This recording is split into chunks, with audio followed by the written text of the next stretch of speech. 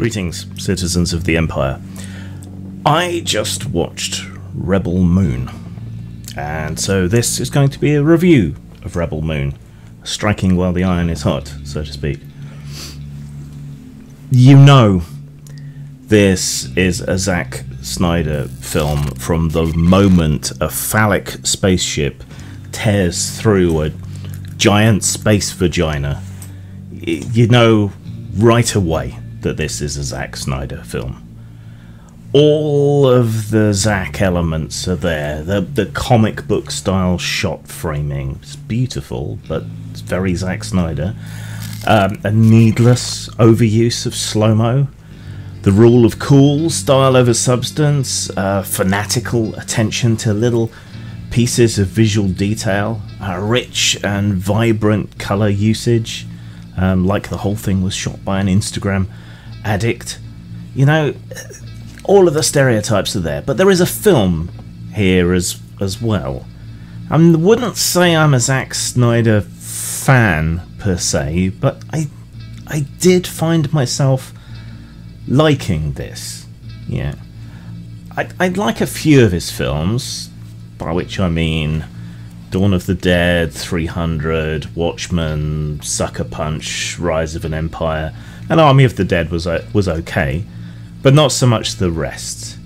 Uh, you could sarcastically call him the thinking man's Michael Bay, which which isn't saying a great deal, but he's at least nerd media literate. He respects the genres that he works in. He knows the genres that he works in for the most part. Maybe drop the ball with Superman. Yeah, but you get the feeling that he's a fan of the kind of material behind everything that we're talking about. Perhaps we've just been, I've just been so let down by the ruination of other franchises that this looks good. It looks better than it actually is. I, I, I don't know. This is a sort of instant my feeling reaction having just watched it. Yeah, it started out supposedly uh, as a Star Wars pitch, and you can certainly see that um, in a lot of it. From the evil empire to the uniformed baddies who look a bit more Soviet than Nazi, I would say, but there's also a Napoleonic element to it, and they're wearing gorget, um, like sort of 18th century soldiers as marks of rank and, and so on.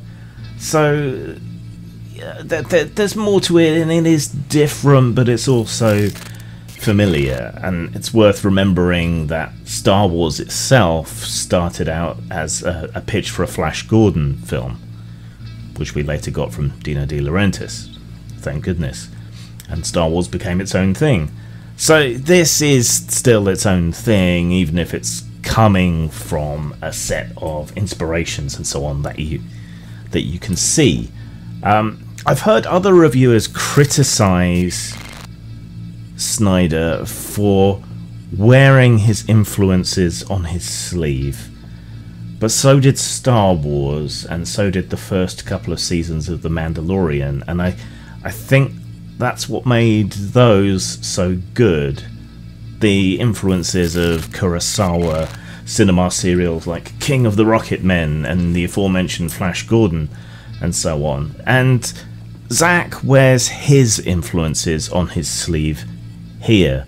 Uh, Metal Hurlant, um, Korean swordsman in shows like Kingdom, uh, Vikings, nods to 300, Greek and Roman, history and mythology, shades of the Napoleonic or of Imperial Russia, and all kinds of other parts. Uh, you can see influences from Lynch's version of, of Dune, while we're getting a much more po faced and accurate version of Dune in the cinema now as well. And obviously, most obviously of all, there is obviously, to use the word obviously a little bit more obviously, uh, the Seven Samurai, which is basically what this is. We, have already had a sci-fi Seven Samurai in Corman's uh, Battle Beyond the Stars, which is I, I think a great film. I, I love the spaceship in that. Nell, and a lot of the same footage was reused in Space Raiders and so on. Uh, Corman was the king of B movie sci fi for a while, and I have a, a weakness for his corpus of work. I, I'd even say, particularly with Space Raiders, even more than Battle Beyond the Stars. I, I love those films. So, this is a generation on not influenced by the media of the 40s and 50s so much, 30s as well, I guess, but by the media of the 70s and 80s, the comic, the adult comic books, uh, the the magazines, the kinds of films that we had there, the kind of grindhouse and uh, cheap sci-fi B movies from then, from the drive-throughs, right? So this is a glorious B movie with an A movie budget, which represents quite a lot of risk on the part of Netflix in making it, which is something to be welcomed. Um, I'm not without my criticisms. It's too long, it's too padded out. The climax is rather unsatisfying. This didn't probably need to be a two part film any more than The Magnificent Seven or Seven Samurai or Battle Beyond the Stars needed to be. And the world building still somewhat lacking, though you get the feeling it's all there from the details that you see. The Zack Snyderisms have become somewhat cliche and tired over the years since the early days of his career, and honestly, he's a bit hit and miss when he's not adapting someone else's material directly. You know, if if he only made Frank Miller films forever, I'd probably be more of a fan, or at least other, you know, other comic creators' works, because that suits his style and his attention to detail and his respect for the material. Maybe throw in some cooperation with Robert Rodriguez there to stop him being too self indulgent. One thing that really did strike me and harmed the film, I think, and is going to harm its its its ratings and its reception is that this should have been R rated. It wanted to be R rated. You could tell where it had been cut and shot around and toned down, and it really suffered for it. Now, the, the extended director's cut will be R rated and should be out, I think they say, by summer 2024 hopefully with some gratuitous nudity and gore to give it a bit more impact during the fighting scenes and so on. But this version definitely suffers for being neutered, and I really think they shouldn't have done that. They should at least have put the R version out at the same time, I think, to give people options. Because I think that's where it's going to play to the source material that it's coming from the, the grindhouse, the B movie, the exploitation films, and so on. And that's it's just going to give it that little bit something extra. I think. I, I know that analysis sounds shallow, but it would reframe, reframe and up the stakes and so on on the whole film and make it a lot more engaging. Now, as an RPG guy, it would be remiss of me uh, not to mention the Evil Genius Games controversy. They wrote an RPG for Rebel Moon and then had the deal kind of ripped away from under them and all the source material that they put together uh, kind of uh, confiscated. Um, now they're suing. Uh, I think they filed suit in September. We don't really know how that's going. I don't much rate their chances.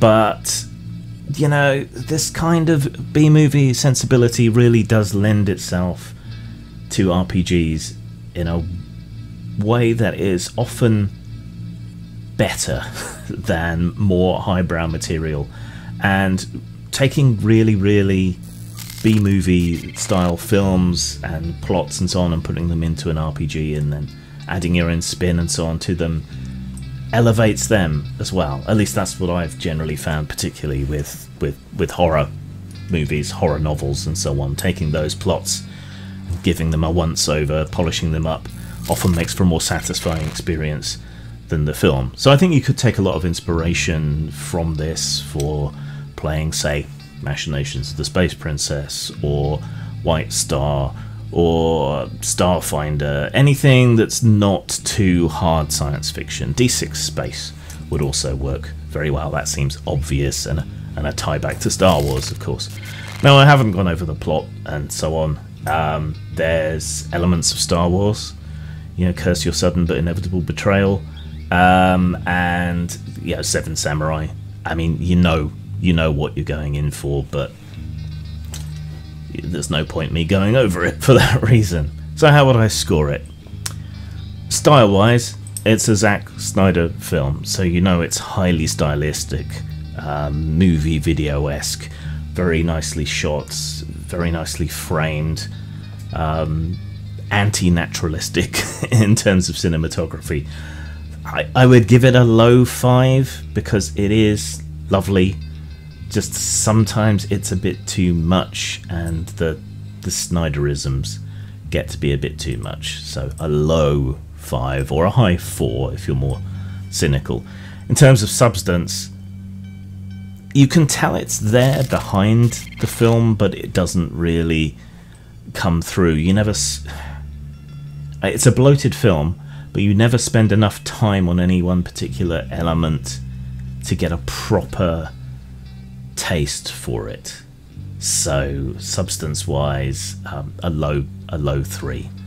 So that's four out of five, eight out of ten, possibly closer if you're more cynical uh, to a 3.5 out of 5 or a 7 out of 10. I think it's important going into this movie to to manage your expectations. Just think Roger Corman with too much money, and you'll have a pretty good time, I think. Zang.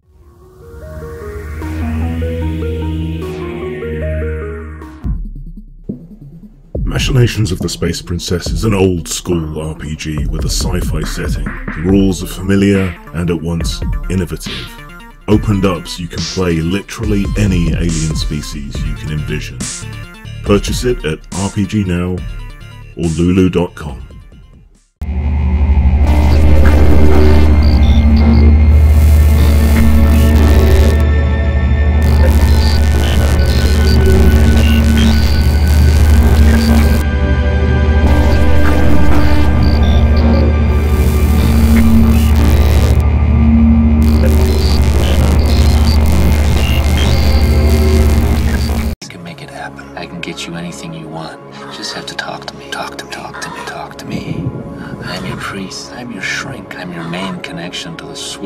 of souls. I'm the magic man.